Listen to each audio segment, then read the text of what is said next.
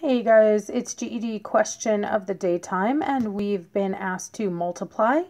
Um, take a look down here. You're going to see that I have the expression, expression not equation because I have no equal sign, 5x times 3x. Now, I'll just remind you that when two things are shoved together, like in this case 5 and x are, or uh, 3 and x, same thing shoved together, they are also multiplying. So another way to read this, I mean, yes, you can read it as 5x times 3x, but this is 5 times x times 3 times x. Those are like four numbers multiplying. Now, what I'm going to do here is I'm going to uh, multiply in the order that suits me. Because remember, when things are just multiplying, you can multiply in any order you want. And it suits me to deal with the coefficients, the numbers out front first. So I'm going to multiply those together. 5 times 3 is, of course, 15. Now, actually, let's write that underneath instead of to the right. So 5 times 3 is 15.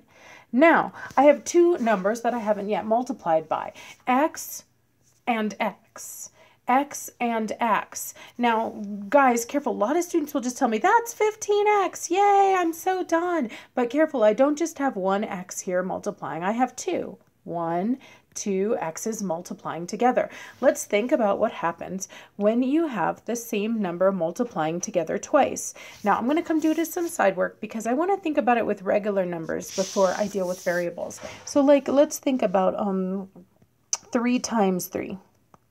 Now you might say, well, Kate, 3 times 3 is 9. Yeah, that's true, but it's also true that another way to write 3 times 3 is as 3 squared. Remember that we can use exponents to talk about repeated multiplication.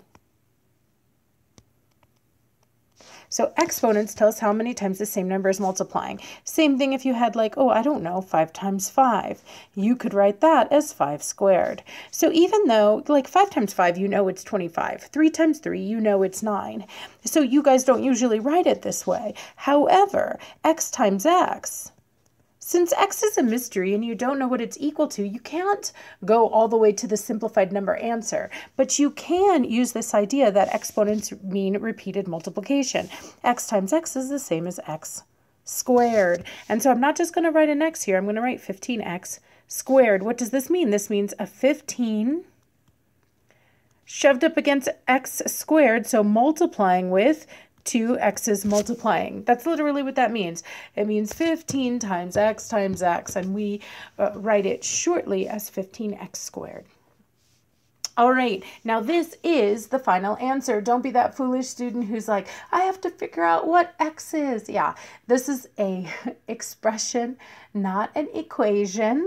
I don't have, you know, two sides with an equal sign on the other side, so I can't figure out what x is. All I can do is the math that I can do, the multiplication I can do, and then walk away. This is done. 15x squared is the simplified answer.